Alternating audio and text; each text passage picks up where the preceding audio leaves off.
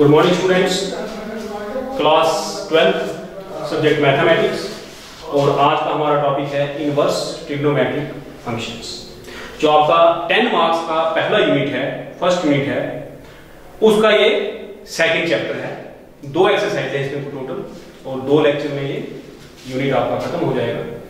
तो 10 मार्क्स का आपका यूनिट खत्म हो जाएगा. एनसीईआरटी e की बुक जो है, उसमें ये सेकंड चैप्टर है. इनवर्स ट्रिग्नोमेट्रिक फ़ंक्शंस तो थोड़ा सा इसका मैं आपको concept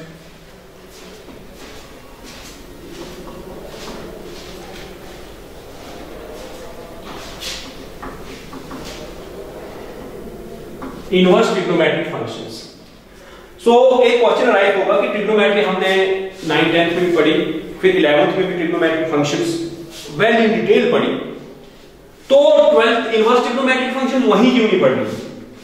तो उसका रीजन ये है कि 11th में जो आपका करिकुलम था, वो जो सिलेबस में फ़ंक्शंस थी इनवर्स फ़ंक्शंस वहाँ नहीं पढ़ी आपने। इनवर्स फ़ंक्शंस आपने पहले टाइप्स पढ़ी 1 1 ऑन 2 जो फ़ंक्शन 1 1 ऑन 2 होगी बाइजेक्टिव होगी, उसी का इनवर्स एग्जिस्ट करता है। तो तब जाकर आपने इनवर्स फ़ंक्शंस पढ़ी। अभी ट्वेल्थ में फ़र्स्ट चैप्टर में। तो इनवर्स फ़ंक्शन जब पढ़नी तो ट्रिग्नोमेट्री फ़ंक्शंस भी, इनका भी इनवर्स तभी पढ़ सकते हो जब आपको इनवर्स फ़ंक्शन का कंसेप्ट हो।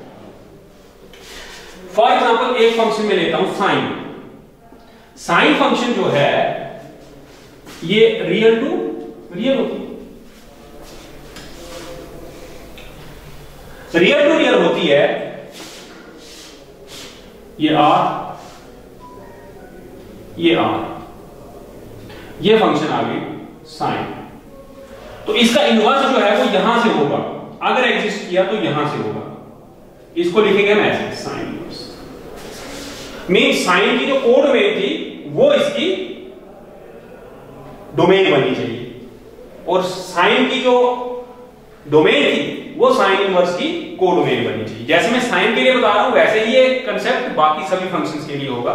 फ़िलहाल मैं आपको बताऊँ कि एंगल में जब आप साइन एक्स लिखते हैं तो एंगल तो आप कोई भी रियल नंबर ले सकते हैं। लेकिन एक चीज़ आपने नोट की कि साइन एक्स की वैल्यू हमेशा माइनस वन और वन के बीच में रहती है, ये इसकी रेंज है। कोडोमेन तो पूरा रियल नंबर का सेट है, लेकिन साइन की रेंज जो है वो सिर्फ़ माइनस वन से लेकर वन तक का interval only this close interval ये। सारे रियल नंबर इसमें आते हैं। इससे ये बात क्लियर होगी कि रेंज जो है साइन की रेंज रेंज ऑफ़ साइन वो सबसेट है। कोडोमेन का कोडोमेन के इक्वल नहीं है। तो ऑन टू फ़ंक्शन के लिए क्या होना चाहिए? Is not equal to codomain तो ऑन टू के लिए कोडोमेन के इक्वल होना चाहिए। इसका मतलब साइन एक्स फ़ंक्शन जो आर टू आर है, वो ऑन टू नहीं है। एक बार दूसरा ग्रामर में आपने ट्रिग्नोमेट्री पढ़ी है तो आपको ध्यान होगा मैं एक एग्जांपल देता हूँ साइन ज़ीरो की वैल्यू ज़ीरो और साइन पाई की वैल्यू ये भी ज़ीरो है। और भी ऐसे बहुत इनफाइनाइट पेयर्स होंगे, जिनमें ये दोनों इक्वल नहीं है, लेकिन इनकी इमेजेस क्या आ रही है? इक्वल आ रही है। इसका मतलब ये फ़ंक्शन वन वन भी नहीं। तो जब साइन हम आर टू आर लेते हैं तो ये फ़ंक्शन ना वन वन है, ना आर टू है। तो इनवर्स का सवाल ही एग्जिस्ट नहीं होता। इनवर्स कहाँ एग्जिस्ट करेगा? लेकिन ये फ़ंक्शंस सर्कुलर फ़ंक्शंस हैं। सर्कुलर फ़ंक्शंस का मतलब इनकी वैल्यू रिपीट होती है। इनका एक फिक्स पीरियड है, उस पीरियड के बाद फिर वैल्यू रिपीट होगी। माइनस वन से वन तक वैल्यू चलेगी, फिर ये घूम के माइनस वन से वन वही वैल्यू चलती रहेगी। तो पूरा real number to real number लेने की बजाय फॉर एग्ज़ाम्पल अगर मैं साइन को माइनस पाई बाई टू से पाई बाई टू इस इंटरवल से और माइनस वन से वन इस इंटरवल में ले लू। तो साइन की सारी वैल्यू आ गई और एंगल कोई रिपीट भी नहीं हुआ।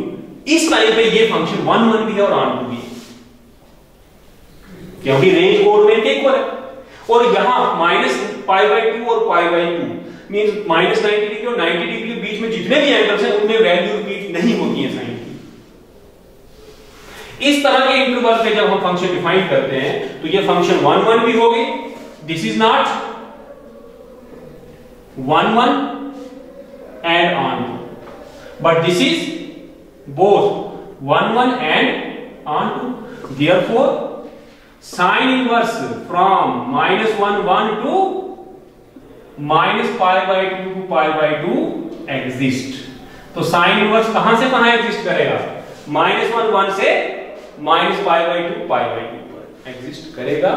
ये जो इंटरवल है, जो इनवर्स ट्रिग्नोमेट्रिक फ़ंक्शंस की रेंज आ रही है, या जो इधर इसकी मैंने डोमेन बनाई थी, इस तरह के बहुत इंटरवल बन सकते हैं साइन के लिए तो ऐसे इंटरवल को कहते हैं principal value branch of sine inverse ऐसे ही कॉस इनवर्स की भी कोई वैल्यू ब्रांच होगी। उसी तरह से टेन इनवर्स की भी छह की छह ट्रिग्नोमेट्रिक फ़ंक्शन जो है, उनके इनवर्स फ़ंक्शंस की प्रिंसिपल वैल्यू ब्रांच इस तरह के इंटरवल्स होते हैं। ये आपको रिमेंबर रखने हैं, ये आपको याद कर लेने हैं। ये याद होंगे इनवर्स ट्रिग्नोमेट्री आपके लिए बहुत इजी रहेगी। तो पहला काम आपने यही करना है, ये टेबल लिखना है। आई होप कि ये कंसेप्ट आपको क्लियर हो गया कि साइन एक्स जो कि रियल टू रियल एक फ़ंक्शन है उसकी कोडोमेन भी हुई डोमेन भी हुई तो फिर इनवर्स के टाइम ये चेंज क्यों किया गया? क्योंकि वो function one one onto नहीं थी। उसमें कुछ मॉडिफिकेशन करके उसको वन वन आन टू बनाया गया। उसके जो सब इंटरवल जो इंटरवल लिए गए उन इंटरवल्स को फिर हम प्रिंसिपल वैल्यू ब्रांच कहते हैं। सो so, पहला काम आपने ये करना है कि कुछ इनवर्स ट्रिग्नोमेट्रिक फ़ंक्शन जो हैं इस तरह का एक टेबल बना लें हेडिंग लिख लें। Principal value branch of inverse trigonometric functions table की हेडिंग लिख लें। ये यहीं से आप नोट कर लेना टेबल सबसे पहले आप लिखोगे इनवर्स ट्रिग्नोमेट्रिक फ़ंक्शन दूसरी चीज़ जो आप लिखोगे कि उसका डोमेन क्या है? हालाँकि डोमेन को आपने याद नहीं करना है, ज़रूरत नहीं पड़ेगी इसकी, लेकिन जो प्रिंसिपल वैल्यू ब्रांच है, जिस जो इसकी रेंज थी रेंज को हम कहते हैं प्रिंसिपल वैल्यू ब्रांच वो आपने सबकी याद रखनी है सीरियल नंबर तो फ़र्स्ट आ गया साइन इनवर्स तो साइन इनवर्स की डोमेन आपने भी देखा, मैंने आपको minus one one to, minus pi by two to pi by two. इस में आती। तो साइन इनवर्स की डोमेन जो है माइनस वन टू वन, और इसकी principal value branch minus pi by two to pi by two. ये आपने ध्यान रखना है। उसके बाद cos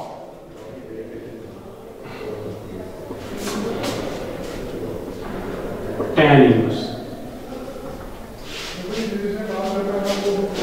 inverse cot inverse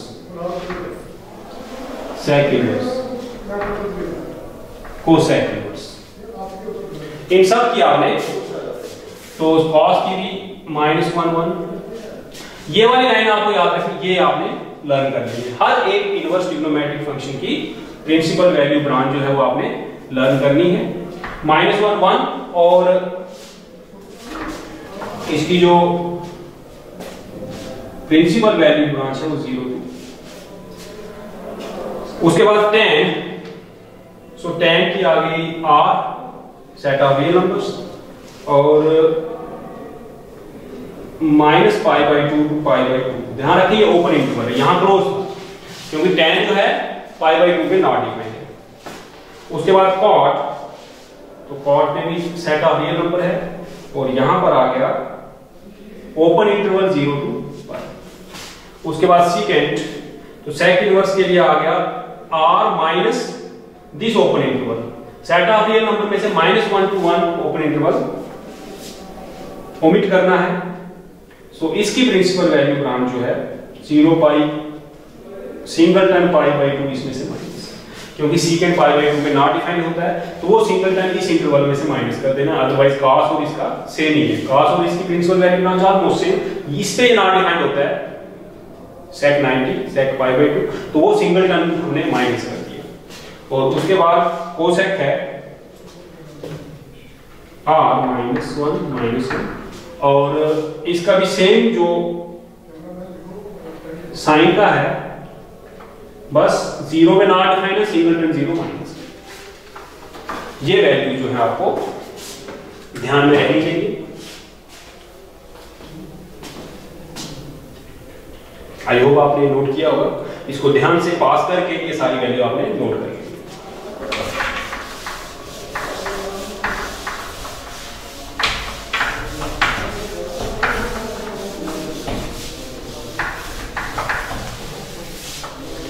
कुछ रिमार्क्स हैं जो आपको ध्यान में रहने चाहिए। वो रिमार्क्स क्या है कि sine inverse x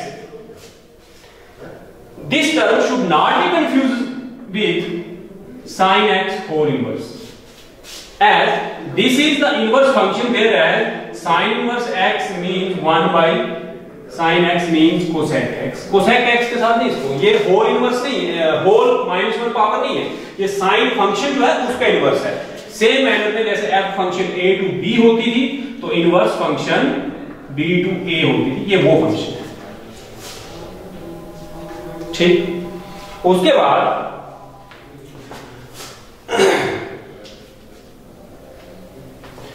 जो वैल्यूज़ प्रिंसिपल वैल्यू ब्रांच में होती हैं, उनको प्रिंसिपल वैल्यूज़ कहते हैं। तो मेन चीज़ है ये जो टेबल अभी मैंने आपको बनाकर बताया।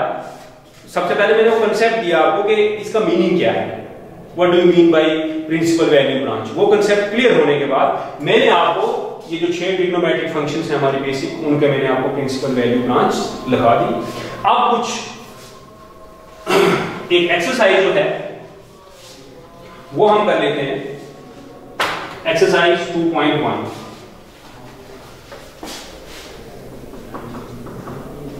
2.1 तो कल कुछ फॉर्मूले लेकर सेकंड एक्सरसाइज और कल आपका यूनिट फ़र्स्ट खत्म हो जाएगा चैप्टर सेकंड फ़र्स्ट पार्ट है sine inverse minus one by two. इसकी प्रिंसिपल वैल्यू फाइंड करनी है। प्रिंसिपल वैल्यू मींस के इसकी प्रिंसिपल वैल्यू ब्रांच में जो वैल्यू इसकी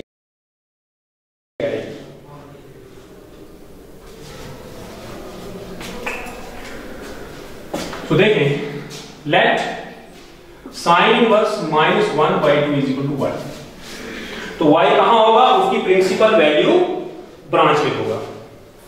तो this implies sine y is minus one by two क्यों? Because if f is invertible, then f of x is equal to y, if and only if x is equal to f inverse. ये आपने पढ़ा हुआ और principal value और branch में sine inverse cos inverse tan inverse ये सारी सारी इन्वर्टिबल फ़ंक्शंस तो इसलिए साइन इन्वर्टिबल है तो मैं f इनवर्स है तो इस साइड में लूँगा तो sin y is equal to minus 1 by this implies sin y is minus sin 1 by 2 कितने रेडियंस में आ जाती है इसकी वैल्यू ये 11th की ट्रिग्नोमेट्री में आपने पढ़ा हुआ है, यहाँ हमने रेडियंस में इसको हम लेंगे। So pi by six sine thirty sine pi by six is one लेकिन ये माइनस यहाँ पर है, हमें y की वैल्यू निकालनी है। इसकी वैल्यू पूछा है, इसको हमने y सपोज़ किया है तो y की वैल्यू निकालनी है साइन हमें यहाँ से लेमिनेट करना है, लेकिन यहाँ पर माइनस है। सो so, आपने ट्रिग्नोमेट्री पढ़ी हुई है तो so, आप सब जानते हैं कि साइन माइनस थीटा जो है माइनस साइन थीटा के इक्वल होता है। तो मेरे पास माइनस साइन थीटा था मैंने उसको साइन थीटा था। So this implies y is equal to minus five by 6 अब बात आएगी सर ये कैसे? भाई ये साइन इधर जाएगा? साइन इनवर्स साइन जो है आइडेंटिटी बन जाएँगे। जैसे f इनवर्स f जो होता है, वो आइडेंटिटी फ़ंक्शन बन जाता है। आइडेंटिटी फ़ंक्शन में उसी के लेकिन वो कैसे? वो इस तरह से माइनस पाई बाई किसने अलोक किया कि इनवर्स कैंसिल इसमें हो जाएगा? इनवर्स है कि नहीं? है उसका रीजन ये है कि sine inverse cos inverse tan inverse इनका इनवर्स इन फ़ंक्शंस का inverse sine cos tan trigonometry का हर जगह पे इनवर्स नहीं एग्जिस्ट करता है। प्रिंसिपल वैल्यू ब्रांच में लेकिन करता है। तो minus pi by six belongs to minus pi by two to pi by two the principal value branch of sine inverse तो ये वैल्यू उसमें है, इसलिए ये एलिमिनेट हो गया. हेंस y कितना था? Sine inverse minus one by is minus pi by बिल्कुल सिंपल है. एक पार्ट और कर लेते हैं. सेकंड पार्ट है cos inverse root three by two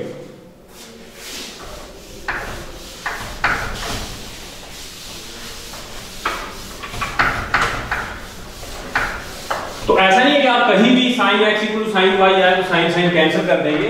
वो एंगल जो है, वो प्रिंसिपल वैल्यू ब्रांच में होगा ट्रिग्नोमेट्रिक फ़ंक्शन के तो तभी आप ऐसे प्रोसेस कर सकते हो।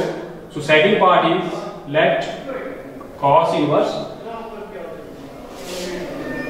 root three by two is equal to y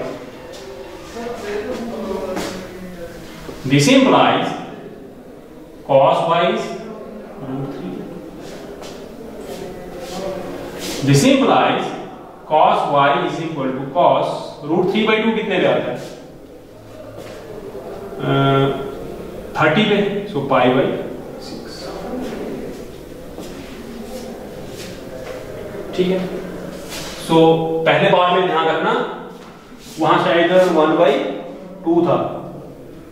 तो sine pi by six one by two होता है लेकिन cos pi by six root three by two होता है। उसमें ध्यान कर लेना मैंने गलत वैल्यू तो नहीं लिखवाई है यही पाई बाई थ्री तो नहीं लिखवाया कहीं गलती से। आंसर चेक कर लेना। यहाँ पर ये वैल्यूज़ आपको इलेवंथ की ट्रिग्नोमेट्री में सारी टेबल बनाकर दिया गया है। तो पिछला क्वेश्चन साइन का था, वहाँ वन बाई टू आया तो पाई बाई सिक्स पे वन बाई टू आता है, लेकिन कॉस पाई बाई सिक्स पे रूट थ्री बाई टू आता है तो यहाँ पे ये नहीं कि हर क्वेश्चन में पाई बाई सिक्स लिख रहे हैं, पहले पार्ट में पाई बाई सिक्स, यहाँ भी ये नहीं है, ये वैल्यूज़ आपने zero thirty forty five sixty ninety ये आपने लर्न की हुई है। रिमेंबर है आपको याद है। सो दिस इंप्लाइज अब ये देखना है कि क्या पाई बाई सिक्स इसकी प्रिंसिपल वैल्यू ब्रांच में है? तो बिल्कुल। Y is equal to pi by 6 and pi by 6 belongs to 0 pi. From the principal value branch of cos inverse तो प्रिंसिपल वैल्यू ब्रांच अपनी अपनी है। सब में minus pi by two pi by two नहीं आएगा यहाँ पर कॉस इनवर्स में वो ज़ीरो टू पाई है। लेकिन पाई बाई सिक्स इसमें आता है। So hence cos inverse root three by two is equal to pi by this your answer अब ऐसे बहुत से पार्ट हैं। टू क्वेश्चन नंबर टेन ये सेम पार्ट्स हैं। आप इनको खुद करें। उसके बाद क्वेश्चन नंबर इलेवन और ट्वेल्व में क्वेश्चन नंबर इलेवन और क्वेश्चन नंबर ट्वेल्व में भी तीन तीन है मैं लिख के दे देता हूँ। इलेवन क्वेश्चन देखिए। Tan inverse one cos inverse minus one by two sine inverse minus one by two तो ये अभी किया था पहला क्वेश्चन वैसे ही y वन करके इसकी वैल्यू निकाले, इसकी निकाले, इसकी तीनों की वैल्यू निकाल के y one plus y two plus y three जैसे यहाँ निकाल तो वैल्यू ऐड कर दो आंसर निकल जाएगा। सेम प्रोसीजर आप लोग जितने भी क्वेश्चंस की प्रैक्टिस करेंगे दो दो मिनट लगते हैं क्वेश्चन में। अगर ये दस क्वेश्चन बारह क्वेश्चन आप प्रैक्टिस करोगे इनकी तो आपको जो प्रिंसिपल वैल्यू ब्रांच का टेबल है, वो लर्न हो जाएगा। वो जब लर्न हो जाएगा तो नेक्स्ट क्वेश्चन में नेक्स्ट एक्सरसाइज में हमें कोई प्रॉब्लम नहीं आएगी। तो इसकी अच्छे से प्रैक्टिस आप घर में करें। दो मल्टीपल चॉइस क्वेश्चन है।